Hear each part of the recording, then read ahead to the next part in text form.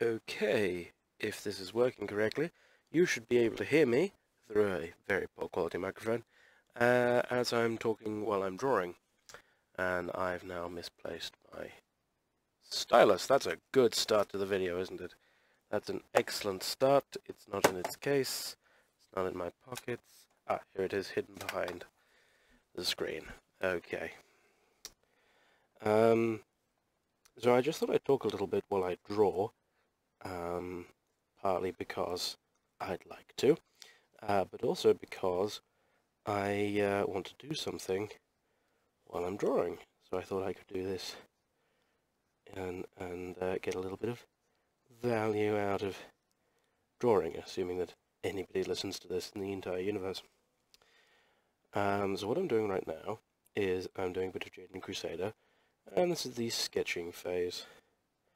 I sketch, well I do everything really, on a Wacom, or Wacom, it, I don't know how it's pronounced, I've only ever seen it written down, a, uh, Wacom Cintiq uh, 13 HD, which is a 13 inch 1080p screen that um, is a Cintiq, so you can draw directly onto the screen, which isn't quite as special of a feature as it used to be, thanks to all the tablets of the world and you know, the Surface and all of that sort of thing.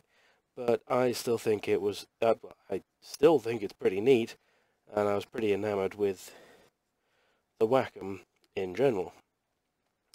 Uh, but I do have a slight confession to make. It's not my preferred way of drawing which is quite embarrassing because these things are not cheap. It was a £700 investment, which I actually regret doing. It took me well over uh, a year to figure out that I didn't enjoy this as much as what I used to do, which was to use a Intuos graphics tablet which is the fairly standard uh, graphics tablet by Wacom. It's the industry standard in many ways. Uh, and just draw with being able to see the screen. And there's a couple of reasons for that. The big reason is that I like to be able to see the entirety of the image without my hand in the way. And I didn't realize this would be a problem because I you know, drawn uh, by hand with paper, your hand's in the way, so I thought that won't be a problem. But what I hadn't realized is that I am, had got incredibly used to being able to see the entirety of the screen as a, a digital artist. I, uh, I actually learnt to draw uh, using a, a tablet. I, I, I'm not really an artist, as you can probably tell. Uh, this is how I've always drawn. I've always drawn directly onto the computer I do draw by hand a little bit, but that's because I enjoy drawing on the computer. Um, I got a graphics tablet when I was 16, so that I could, which is actually a story of a lot of artists, but um, I, I, got it when I was 16, and the idea was that I would digitally ink uh, somebody else's comic. We were going to do a comic together. They would digitally ink it. I would, no, th they would draw it, they would sketch it, and I would digitally ink it because I had a copy of Photoshop and they didn't, and I thought it would be faster if I had a tablet. So I, I asked for it for my birthday, I was 16, uh, and I got it. Um, and the comic fell through, as these things do when you're 16, but I kept drawing, and I just started drawing my own webcomic. And, uh, yeah, so I learned to draw pretty much entirely on the computer, which meant that I learnt to draw being able to see the entirety of the image that I'm working on. And what this means is that when I draw with a Cintiq, I feel like I'm operating with less information than I should have. And I don't think I draw as well. It's a very lovely screen. It's got very nice color um, representation. It's you know, it's a nice size, 13 inches is pretty good to work on. It's a very similar amount of workspace that I had uh, when I had an Intuos. I had an Intuos uh, 3, because it was a very long time ago when I was 16, uh, and it was what they used to call a 5, uh, and I now think they just call it medium. Uh, an A5 meant you had an A5 amount of space to work in. Uh, so in many ways it was a, a big step up, because 13 inches on a standard 1080p uh, ratio, that's um, it's about the size of an A4 piece of paper, so it's actually a much bigger amount of workable space. But, um, yeah, just not, not as enjoyable, so I think what I might do when I have lots more money, at some point one day, is buy another Intuos and buy a buy the largest Intuos I can find and buy the largest, most high resolution and gorgeous screen I can find and do it that way, which I think will give me a better drawing experience than the Cintiq, but I'm stuck with the Cintiq for now. I say stuck with, there are people who kill for these things, well not literally kill, there are lots of people who would really love one of these, uh, and I'm sort of, in inverted commas, stuck with it, a beautiful £700 piece of equipment. Uh, anyway, I actually had one of the very first ever made or at least the very first ship to Europe, it was, they came out in March, my birthday's in May, and I bought it, the first lot sold out entirely, I had to wait a few months, and I got the first lot, well, I got the second lot to come out of the factories in June, so, uh, this was a couple of years ago, uh, no, that's, that's wrong, that's the wrong character. Uh, to you watching, I probably look like I made uh, an almost identical stroke. But trust me, the first one, first one was definitely wrong. Um, with my sketches, I like to try and make them fairly accurate. I know some people make very, very rough sketches, uh, where you basically just have sort of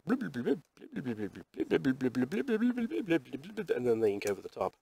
I try to make my sketches as close to what I'll eventually ink as possible. Uh, that way I am likely to iron out the mistakes. But they still have rough edges. I deliberately work with a bigger brush than I ink with. I'm working with a 19 size brush at uh, 300 dpi and uh, my little trick is, well I say trick, it's, it's kind of dumb really. Um, what I tend to do is I uh, once I've finished sketching, will completely re-edit the image to 900 dpi as opposed to 300 um, and have a very nice resolution for drawing uh, and the process of that means that I will then ink with another 19 in 19 pixel across brush except that it will be the equivalent of a much finer brush it's just uh, I'm working at a much higher resolution once I start inking. Uh, I'm not at all a great artist. I am not even a mediocre artist, but I do try my best, and that's all anyone can ask. And, uh, yeah, we make do. Uh, Jayden Crusader always, almost always has six panels. I don't know why I settled on this as a framework.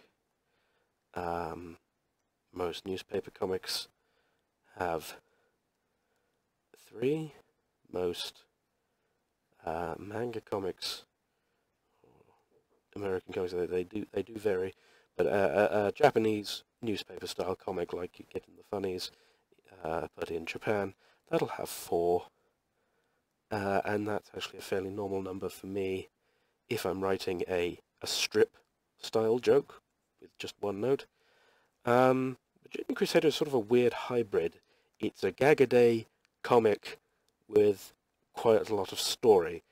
Uh, it's been compared a lot to questionable content, and questionable content for a very, very, very long time, used a four-panel system. They'd have four widescreen panels. Um, he's mi mix he mixes it up now. Uh, he started mixing it up about I want to say two years ago, but I, my sense of time is all warped, so it was probably three or four or even more years ago now. Um, he started mixing it up, and he now varies it sort of whenever he feels like it, it seems. Um, but six panels is something I settled on after a little bit of experimentation. Uh, early Jayden Crusaders had no uh, fixed panels at all. They would be however many the joke required, which is because I was still figuring out what I wanted to do with Jayden Crusader, and in that time of free and unbridled creativity, all kinds of crazy ideas start entering one's head, such as eight panels, seven panels, five panels, and so on and so forth. Uh, and after a comic called The quest for popularity. Oh, what did I call it? It was the quest for popularity, one of the variations. Uh, it was the one which introduced the character of computer. Uh, I had an eight-panel joke. Uh, eight panels, which I drew using a marquee tool, because I'm terrible at drawing. Then, later, I needed a six-panel comic, so I just took the first six panels of the eight panels. You can see I've already done this bit here. I'm going to do this bit back here. Uh, I took the first six panels of the eight panels and I stretched them a bit. And so originally Jayden Crusader's panels were sort of widescreen. They were like, uh, excuse me, they were like questionable content or, or um, like a 1080p screen. But uh, now they are square well, slightly off square, and that's because I stretched the, the eight panel um, template to fit an A4 page, even though it was only two-thirds of the size. It'd probably be easier to demonstrate this with visuals, but I'm not going to provide any because I'm that kind of a guy. Uh, yeah, this is not working out so well working on such a small bit of the image. Um, fun thing about this particular comic, uh, it originally didn't have any dialogue at all. All the storytelling was going to be in the um, in the uh, visuals, which is something I I like to play around with and I like to try and do to stretch myself, but I wrote this comic in 2012? It was a very long time ago, and I'm only drawing it now. And I thought to myself, the reason that I have been dragging my heels on this comic is because it wasn't funny. There wasn't a joke, there was just a story. And so I was not motivated to tell a joke. I was motivated to tell a story. And the story it's telling is kind of, I don't want to say not interesting, because that would be very cruel to myself and would diminish all of the people who are enjoying the story. Um, it's sort of pedestrian. It's the sort of story that holds up jokes, which is fine, because this is a comedy, so that kind of story is is what is desired. I just need a simple story to hold up some jokes, and we get our yucks, and we laugh. Ha ha ha ha ha ha. But um, when I was trying to be all artsy about it, and make a story comic, I, I, I, it just doesn't work. Nobody wants to see that. Uh, nobody cares. I don't care. Why would anybody else? So it didn't get drawn, and I went back to it when I was looking through my scripts, thinking, I need to draw this. The story needs to move forward. And I went back through, and all these panels which just said things like, um, the gang move in a bathroom, the gang put in a kitchen, the gang sit around relaxed after moving stuff in, they all got jokes written for them. You know, you can argue that they may not be funny, but they got jokes written for them, and now I'm motivated to, you know, work on them. So it was clearly a good idea. The yeah, so going back to talking about Jayden Crusader and how it's a bit weird. Uh, Jayden Crusader always started off as a meta comic. It has always worked best, I think, when it's meta. And a meta-narrative, if you don't know, is discussion about narrative and the way narratives interact. In webcomics, especially, but in all other kinds of fiction as well, this has come to mean a, a piece of work which comments on the type of work it is. So, uh, one example of a famous meta film is, this is terrible, uh, there's no film called that, is the film Scream, and its ever-sprawling sequels. It comments on and plays with the uh, tropes of a sci-fi film. And it's still terrible. Uh, uh, yes, plays with the tropes of a sci-fi film and is sort of aware that it is a sci-fi film. So when it subverts tropes or uh, goes into tropes of sci-fi films, it is aware of it, it's making a commentary on it. Uh, that is evolved into a whole host of different kinds of meta stories. And Jayden Crusader is what is both the most irritating to the internet uh, and the most enjoyable for me personally, uh, which is the type of comic where the people inside are aware that they're in a comic. Uh, and that creates weird things when it comes to classifying Jayden Crusader. It sort of is itself and nothing else. It reminds a lot of people of uh, questionable content, as I've said, but nobody in questionable content is aware that they are a cartoon character. Nobody in a lot of webcomics are aware that they're a cartoon character because you can't tell certain kinds of stories if your character is aware that they're a cartoon character. They, you know, how, how, why, why would you worry about going to university if you know you're a cartoon character? Why would you worry about being trans if you know you're a cartoon character? And so on and so forth. That's why most webcomics are not meta. But with Jayden Crusader, I feel that I've created a fairly interesting subtrope of, of meta, where the characters know they are fictional and know that they are non-existent, and yet still want to live out a life because it's worth living. Life is great. It's, you know, it is existence. Without life, there is nothing but oblivion.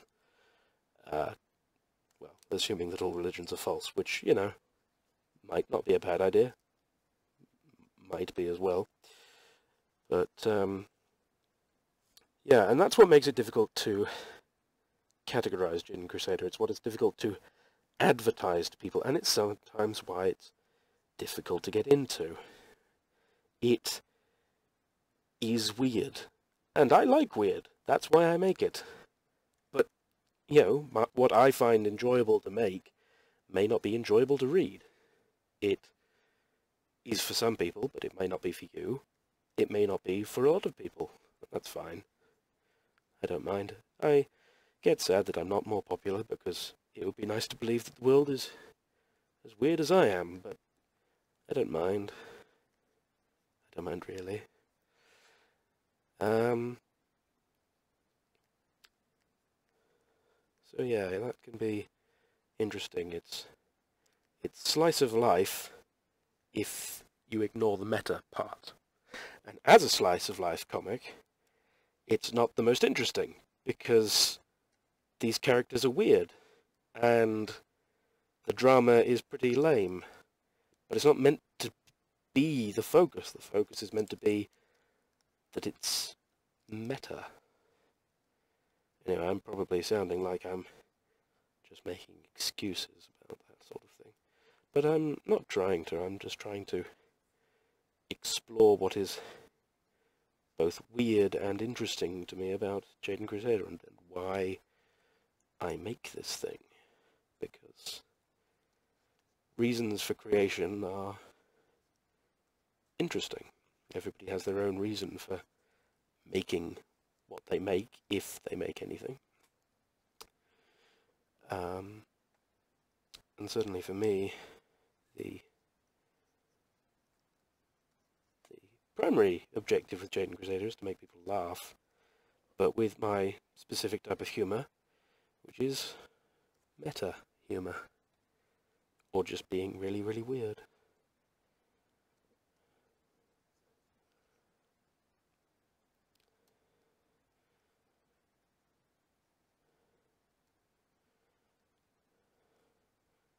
This is very sketchy. Oh dear, very sketchy. Proportions are all kinds over the place. I might come back and fix some of this. But uh, then again, I might not. Depending on how long this video is, you might get to see that. Or maybe I will realize I have nothing more to say and will give up.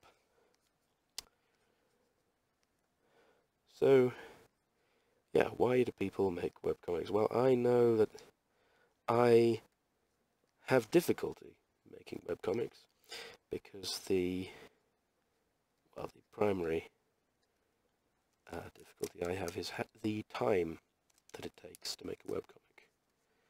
Um, the usual answer of how long it takes to make a page is 45 minutes to an hour per panel. Uh, and this can vary depending on how many characters there are and how much action it is and how much action there is and how different it is from what is usually made. Because if all of your comics are people standing around and talking you get pretty used to drawing people standing around and talking. And you start to get quite good at that and quite quick. But if you do weird stuff like I once decided to smash the house apart with a giant steam tank, um, that that sort of thing will take quite a lot longer, and in fact took a month to do the 12 panels of that. Good grief, this arm is terrible. Uh, yeah, it took a month to draw that. Uh, admittedly, that was a month five years ago, uh, which is not easy for me to think about because I don't like to imagine time moving. But um,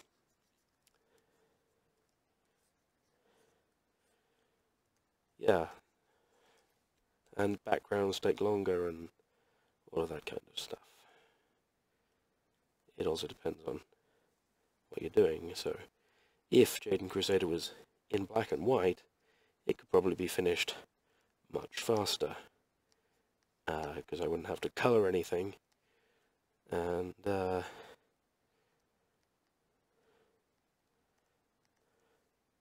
it would just that would that would cut out at least half the work. Um, just realised that Crusader was meant to be a little bit smarter here. I'm going to give him a collar because in this one he's he's interviewing uh, perspective uh, people, so I'm going to give him. I'm going to colour it the same colour because I like the idea that uh, Crusader only has red shirts. I, I don't think I've ever made a joke about it, but it's something that I have worked on. There are a few cases where he's worn blue, and I really don't like it when he wears blue. uh, and want to go back and change those at times. Um, but I do like the idea that if he does smarten up, he just puts on a slightly fancier shirt that is exactly the same colour as his other shirts. Uh, I've completely lost track of what I was talking about, but who cares? It's not as if what I'm saying is particularly interesting or important.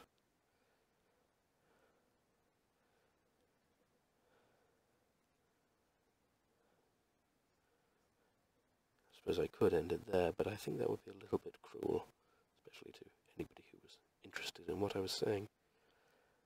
Um, what I would really like, I'll, I'll tell you all that, is I'd really like for this to get live streamed on Twitch, but it can't, because I live in the middle of goddamn nowhere, uh, and our internet is too terrible for Twitch. It's barely acceptable to play YouTube videos on.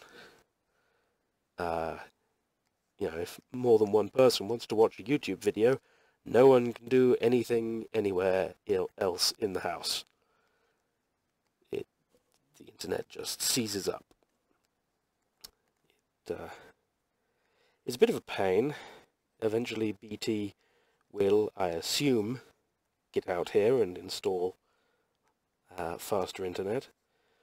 But uh, it means that my options for sharing the hands work. That's not where the thumb should